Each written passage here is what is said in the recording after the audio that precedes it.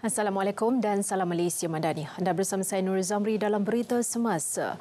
Baik kita mulakan dengan perkembangan banjir di Perak setakat pukul 8 pagi tadi.